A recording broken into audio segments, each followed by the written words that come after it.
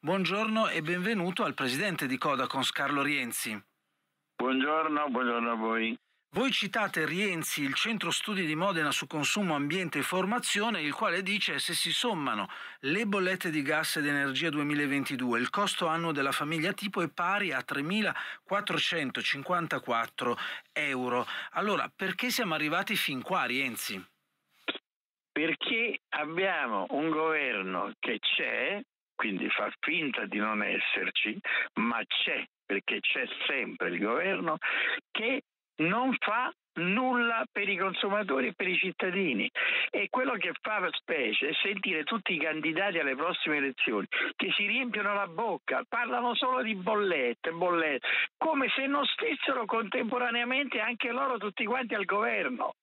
Che cosa dovrebbe fare quando lei dice non fa? Che cosa dovrebbe fare? CAP dovrebbero fare come hanno fatto negli anni passati, per il telefono, per altre situazioni come hanno fatto all'estero, il price cap, cioè un prezzo massimo del gas e quindi bloccare le speculazioni alla borsa di Amsterdam, dove si, verifica, si verificano le speculazioni delle società che vendono ai grossisti e quant'altro e fanno salire il prezzo uh-huh. come vogliono loro, poi lo fanno abbassare come vogliono loro perché ci sono speculazioni proprio sulle azioni legate alla produzione di energia e di gas.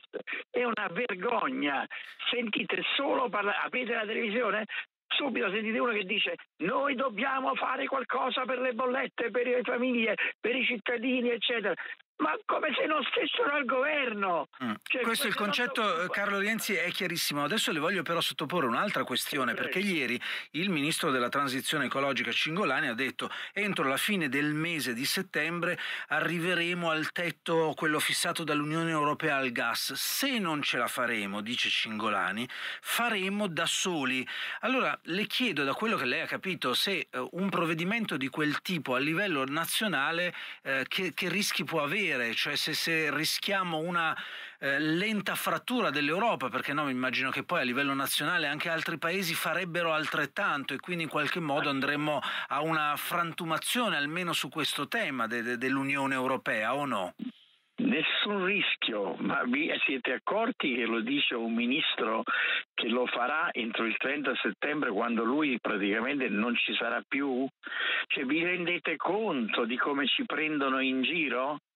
Invece di fare un decreto legge subito, il governo lo può fare perché c'è un'emergenza nazionale, dicono tutti faremo, faremo, faremo, tanto quello manco ci sarà più e quindi che gli frega. Allora il problema è fare qualche cosa di diverso. Noi abbiamo fatto un ricorso al TAD della Lombardia che è competente per il gas e la luce per l'ARERA e a ottobre decideremo, e questo lo faremo sicuramente perché non siamo legati alle elezioni, cioè non dobbiamo essere rieletti e faremo una richiesta mm. al TAR di sospendere tutti gli aumenti dal 31 dicembre 2021 ad oggi perché c'è una situazione di emergenza e il TAR può farlo, ha i poteri per farlo il TAR della Lombardia. Questa è l'unica speranza che io posso dare ai vostri ascoltatori, mm. non so che altro dire. Ultima questione è quella che riguarda la vostra iniziativa di solidarietà sociale. Pagheremo appena potremo. Il tema è quello del rinvio del pagamento delle bollette. Si paga, proponete voi, un, un solo un 20% e poi il resto viene dopo. Le chiedo, eh, Rienzi, su che cosa si fonda questa iniziativa? Perché poi ovviamente ciascuno di noi si chiede, ma se non paghiamo le bollette poi ci tagliano le forniture del gas, della luce?